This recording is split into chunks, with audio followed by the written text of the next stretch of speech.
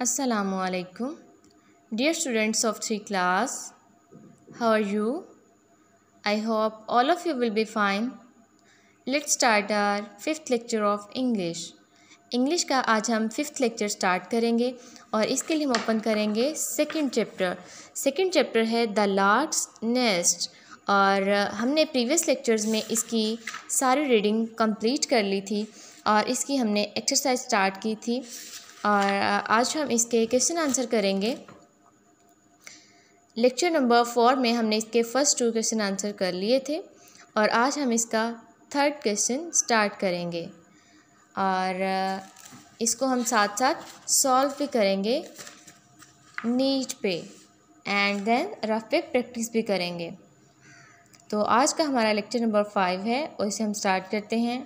Answer these question question number three question number three है? What did the mother lark ask her children to do when she was away mother lark जो छोटे छोटी चिड़िया की जो मामा थी mother lark वो अपने बच्चों को क्या करने को कहती है वेन शी वॉज़ अवे जब वो उनके लिए खाने की तलाश में दूर दूर जाती है?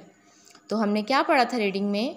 She ask them to observe the situation carefully वो उन्हें कहती है कि जब मैं यहाँ से दूर जाती हूँ, खाने की तलाश में बाहर जाती हूँ तो आपने सारे हालात का बहुत ही ज़्यादा एहतियात से मुशाहिदा करना है, यानी कि हर चीज़ को बहुत अच्छे से देखना है और जब मैं वापस आऊँगी, फिर मुझे बताना है। और क्वेश्चन नंबर फोर में क्या होता है? Why did the farmer ask his son to call the neighbours और जो किसान होता है, वो अपने बेटों को क्यों कहता है कि वो हमसायों को बुला के लाएँ? किस लिए कहता है? जल्दी से बताएँ, हमने रीडिंग की थी इसकी। Yes very good to harvest the grain यानी कि जो गंदम है, उसकी कटाई के लिए वो अपने नेबर्स को बुलाना चाह रहा होता है, जो कि टाइम पे नहीं आते और ना ही उसके रिलेटिव्स आते हैं। तो इसका क्या आंसर है? टू हार्वेस्ट द ग्रेन गंदम की कटाई के लिए बुलाना चाहता है वो।